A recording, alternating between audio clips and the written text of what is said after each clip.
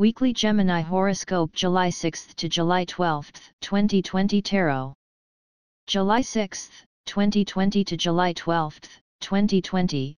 Arguments and misunderstandings are possible due to roving Mercury's angle with red hot Mars midweek. If you're involved in a team project and the expenses seem to fall mainly on you, it might be time to bring up this matter so you can find a fairer way of distributing the costs. Rather than being quietly resentful, it would pay to speak up. Celestial body Chiron turns retrograde in your friendship zone this week, so you may gain insights into your social life and how you can improve matters.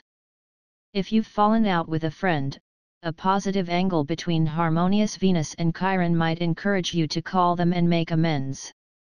Chatty Mercury, your personal planet, turns direct over the weekend, bringing an end to delays, especially around money matters. Feeling charitable?